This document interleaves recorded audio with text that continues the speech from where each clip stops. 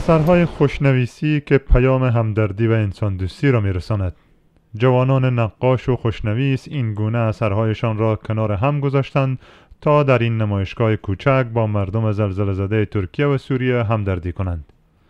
مسئولان برگزاری این نمایشگاه می‌گویند بیش از چهل اثر نقاشی و خوشنویسی را اینجا به دید عموم گذاشتند.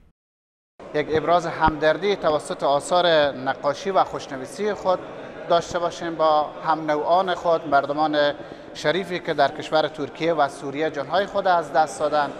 از طریق نمایشگاه ما همین ابراز همدردی خود با اون مردم شریک ساختیم. ترکیه سه هفته پیش با زلزله عظیم روبرو شد که یازده ولایت آن را در بر گرفت. مردم در بیشتر کشورهای اسلامی با مردم ترکیه ابراز همدردی کردند. شهروندان کشور نیز همواره پیام همدردی خود را به گونه های مختلف با مردم ترکیه شریک ساختند. دفتر هماهنگی و انسجام جمهوری ترکیه در هرات می‌گوید این گونه برنامه ها نشان دوستی و همدلی دو ملت ترکیه و افغانستان است.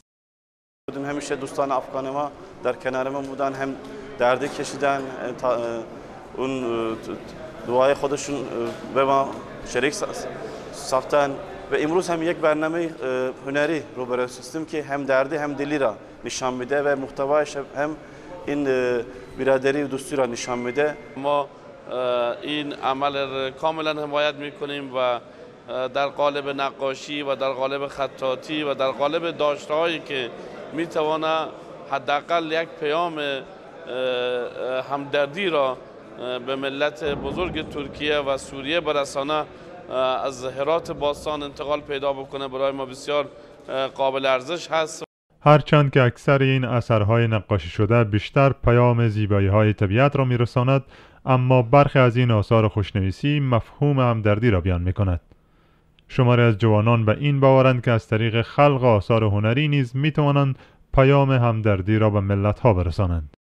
حداقل اگر ما نمی‌تونیم حضورا با اونا ببینیم یا سفر داشته باشیم برویت تصویر هم ما بتونیم با آثارهایی که شما می‌بینید داخل سالون اینا نقاشی شده آماده شده از طریق می تصویر بتونیم با کشور همسایه و دوست خود همدردی کرده باشیم. و حس همدردی خور با زلزله زدگان کشور ترکیه و سوریه که اونا از تاثیر زلزله متاثر شدن در اواخر حس همدردی خور از طریق هنر ابراز کردن.